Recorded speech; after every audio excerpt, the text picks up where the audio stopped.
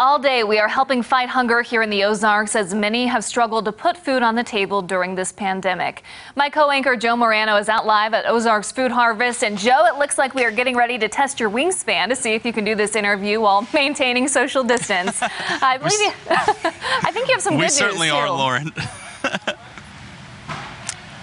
we also have some good news. We are here at Ozarks Food Harvest, all right, and pleasure to be joined by President and CEO Bart Brown. And Bart, we've been raising money for you guys and Convoy of Hope and Crosslines all day today, just to try and help put more food on tables there. You've got a money update for us, don't you? I do. You know, so far we've raised $17,000 since you guys started today, just a little bit over that, and we're thrilled about that. We want to keep it coming. I will take that. That's about six hours in. We've raised that much money. Now, Bart, we're talking about how you guys are able to stretch $1 into several meals and make it worth several dollars. How do you guys exactly do that?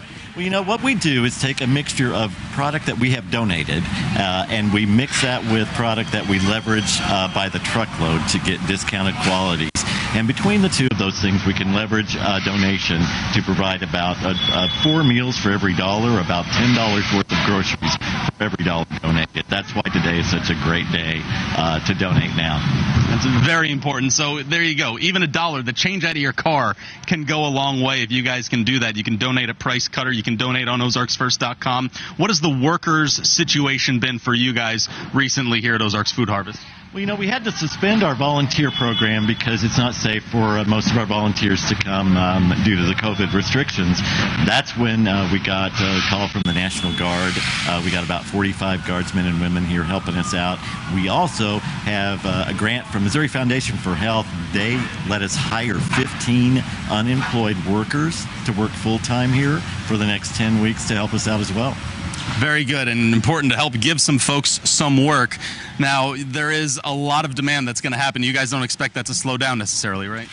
We're just seeing the tip of the iceberg. Um, we've seen our demand double just about, and uh, we know with so many people out of work, 25,000 in Springfield alone, um, that this is just going to continue for a long, long time. So not only now, um, but we're looking for three months from now. All right, Bart Brown, thank you so much. President and CEO of Ozarks Food Harvest. You guys can help. Go to ozarksfirst.com and try and donate. Thank you so much for joining us today. Bart, we've got another bit of midday for you coming up. We are live out here, keeping the Ozarks first, everyone. $17,000. Wow, and the day is still young. Thank you, Joe and Bart. We'll be right